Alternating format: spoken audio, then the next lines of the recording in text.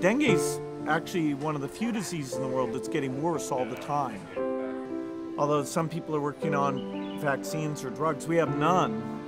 The Dengue Project is a kind of amazing thing where they're putting a, a bacteria called a Wolbachia into these mosquitoes that prevents them from transmitting this terrible disease.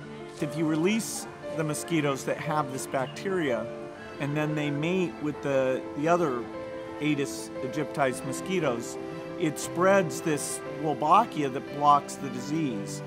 Yeah, in a way it sounds pretty simple. So you'd think, okay, we just grow a bunch of mosquitoes, we go out and release them.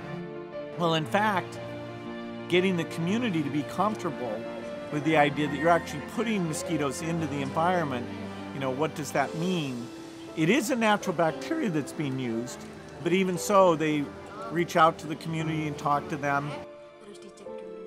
If things go well in these small pilot areas, uh, then in 2016, they'll take this whole city here, which is about 400,000 people, and do that for a couple of years. And if that goes well, then they'll take a really big city like uh, Rio de Janeiro, Jakarta, Ho Chi Minh City, all cities that have growing dengue burdens and go and do something really large scale where the health benefits would be big. You know, all these things we work on require a lot of patience and a lot of learning. This is one that, you know, I think it's at least halfway there and has a, a very high chance of success.